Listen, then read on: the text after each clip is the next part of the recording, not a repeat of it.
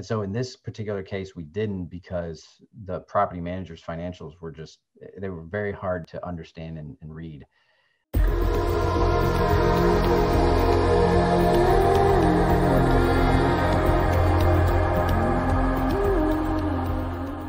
Good thing about hiring a bad property manager is now you have a list of criteria.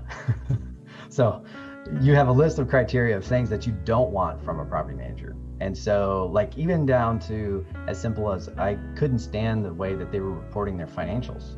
It was just very hard to understand and, you know, something that we had to really um, kind of take out and filter to be able to provide to our investors. Where typically we do actually scrape that down, you know, on, on the financial aspect that we scrape that down and put it into a better readable format to our investors, but we also provide raw financials and so in this particular case, we didn't because the property manager's financials were just, they were very hard to understand and, and read.